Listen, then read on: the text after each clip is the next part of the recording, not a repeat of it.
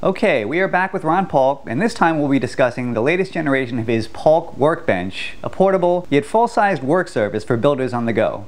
Here's a time lapse of Ron assembling the bench from start to finish.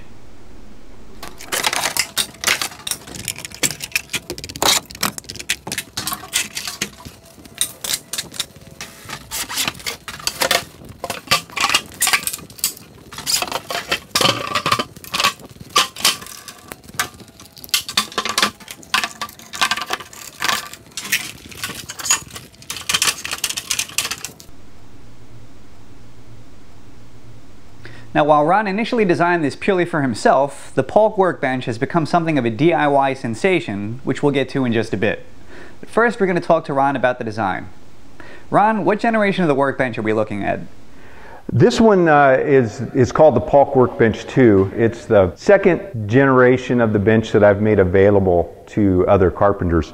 But prior to the original workbench, I had two iterations in developing the first bench. And prior to designing your own bench, what were you using as a work surface? Prior to that, I had used many uh, temporary benches over the years from the basic plastic sawhorses that you purchase at the lumber store with a sheet of three quarter inch plywood. And also, uh, quite a few years I used a three foot by six eight door blank, just a hollow core door. Uh, for years and years, that was my primary indoor or finished workbench. So what inspired you to design your own? The use, the use of those, those other benches. Uh, additionally, I purchased a, a few uh, commercially available benches. And what I was finding is that benches were um, too heavy, too hard to set up, but primarily they were too small. To get a bench uh, for what I do in finished carpentry, where I'm building cabinets, assembling cabinets, building fireplace uh, mantles and, and, uh, and large bookcases. I just needed a little more space. So I, I decided that the 4x8 was the size I needed. That was the, the minimum size that would work for me. And to do that, um, I had to use a full sheet of plywood. The problem with plywood is it doesn't stay completely flat, and then you end up uh, trying to put some strong backs or something on it to keep it stiff, and then it gets heavy and hard to move around.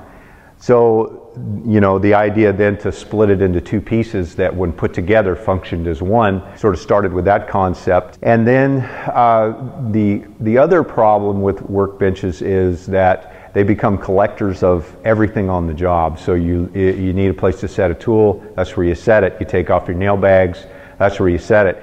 You got a project you're working on, you set it on the bench. And then when you go to work on the bench, it, you have to unload the bench just to use it. So then the concept of having storage space, uh, usable space to set your tools down and your glue down and your, uh, you know, your screw bins and all those things beneath the bench while you're working. So they're, they're right there for you to grab, but they're not taking up space on your, on your uh, top. And tell us about the perforations on the work surface.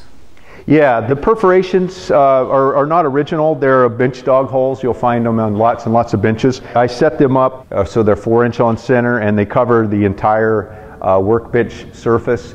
They allow me to clamp anywhere on the bench that's necessary. And I happen to use the Festool C clamps, but they drop right in the holes and I can clamp down for gluing or if I'm going to screw something together. And I can also attach uh, any number of fixtures that I build out of, out of uh, wood on the job just to hold things down or templates, guides, things like that. So that was the, the purpose of the, of the holes was, was just to be a clamping surface. And obviously to hold things like mantles and cabinets, the bench needs to be quite sturdy. So what made you opt for using half inch plywood rather than the three quarter inch? I decided that the design that I was working with, more of a truss, uh, a box beam, I was going to get the strength from the engineering and not from the mass. And that was intentional. I, I knew that building this box basically um, so that I could have an you know inside usable space, I would not need the mass. Uh, that that the the half inch would be as rigid as the three quarter, and that gives me the added benefit of weight. Can you tell us about the design thinking behind mounting the table saw to the end of the workbench? Instead of carrying a stand to hold it up and then working out an outfeed, um, I decided that with this uh, large bench already set up that it would make a perfect outfeed. And then if I put it on the manufacturer stand right in front of the bench and use as an outfeed, I have to be concerned about getting exactly the same height. And also, um, if I'm working on a surface that's not uh, uh, level or at least running at the same angle, um, then you end up with the table saw uh, surface not being plane or flush with, uh, you know, in plane with the bench or with the outfeed. So I, I, realized that I needed to come up with some way to uh, mount the table saw on the bench so that the bench doubles as the outfeed and as the support. And so I just played around with uh, a lot of different ideas and came up with uh, just a couple of inexpensive pipes mounted inside of the workbench that just pull out and uh, a little mounting system out of the same half inch plywood attached to the saw so that I could just set the saw on the pipes without having to attach it. So it becomes an easy on, easy off, and very stable way to uh, hold my, my table saw. And the setup time is, is very minimized. Now, the earlier versions of the workbench did not contain a router table, but this one does. What made you decide to add it?